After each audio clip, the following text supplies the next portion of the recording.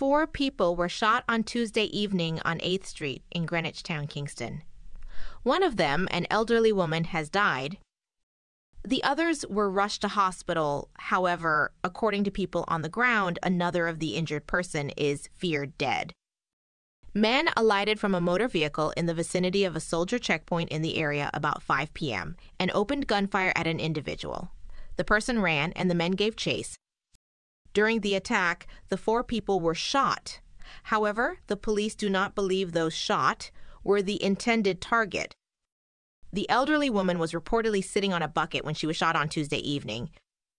Head of the St. Andrew South Police Senior Superintendent Kirk Ricketts gives details. Information um, men uh, alighted from a motor vehicle, opened fire at an individual. The individual ran, they gave chase, and in the melee that followed, we understood that four persons were shot and injured, and uh, at least one would have succumbed so far. We do believe that uh, one individual was targeted and that the persons who were shot and injured, including the deceased, uh, might not have been the target. Uh, these criminal sus suspects are quite brazen and they will take on uh, law enforcement and they have shown it from time to time. We do believe that were it not for the soldiers and, and law enforcement present in the space, it could have been much worse. Uh, the, the quick reaction from the JDF would have prevented uh, the men uh, carrying through the, the, the act of, of, killing as many persons as they, they, might have wanted to. We do have a gang problem in, in the space. Um, we have managed to, to keep it at a particular level. Uh, of course, you know that the, the zone is ongoing, uh, but we have had some persons uh, reintegrating themselves in the community, and as such, we are trying to to root them out of the space. We're using this opportunity to ask the residents within the zone, you have been living quite peacefully uh, over the last couple of years since the implementation of a zone. We want you to work with us, work with the police, work with the soldiers, uh, tell us what you know because these individuals have been slowly creeping back into the space. We want to know where they are when they come back in so that we can interdict their activities. A long standing family dispute over land is alleged to be the cause of a double murder in the Cushney Road section of Parks Road in St. Andrew on Monday evening, cutting plans short for one of two elderly victims who was preparing to migrate to the United States.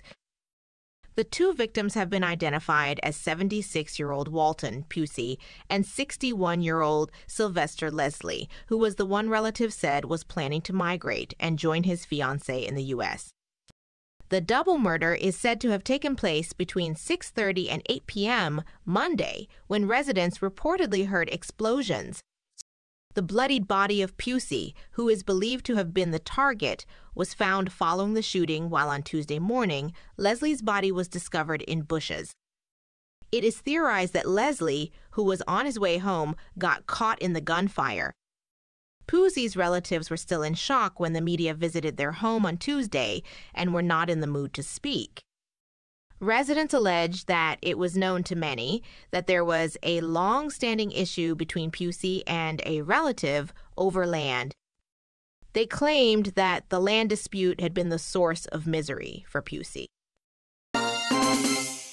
As the bloodshed continues, a sound system selector was shot dead by gunmen in Dempshire Pen, Spanish Town, St. Catherine, on Tuesday morning. He has been identified as 40 year old David Palmer, who is also a construction worker from the community. It was reported that around 10:45 a.m., residents reportedly heard several loud explosions in the area and stumbled upon the body of the now deceased. The police were summoned and upon their arrival saw the now deceased lying on his back along the roadway. He was reportedly wearing a gray shirt, gray shorts, and had a green colored sheet over the lower part of his feet, while the body had what appeared to be gunshot wounds to the chest. No motive has yet been established for the killing, the police said. The death toll from Monday night's crash involving three motorcycles and a truck on the Waterworks main road in Westmoreland has climbed to four.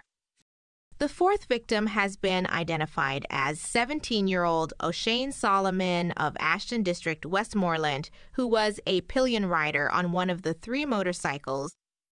The three others, all of Westmoreland addresses, have been identified as 18 year old Jermaine Scott of Darliston, 24 year old Relay McLeod of Ashton District, and a man identified only as Sanjay. Solomon died at hospital on Tuesday morning.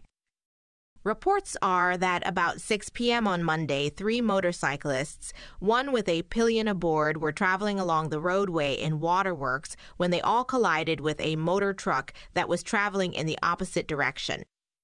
The motorcycles reportedly burst into flames on impact with the truck.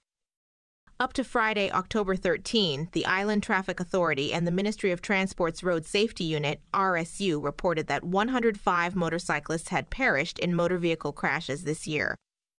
The RSU said the tally was just three fewer than the 108 motorcyclists who died over the same period on the nation's roads in 2022.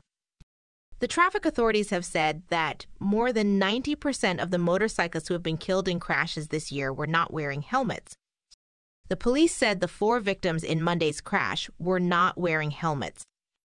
Meanwhile, the RSU is reporting that motorcyclists represent the category of road users with the highest fatality rate this year.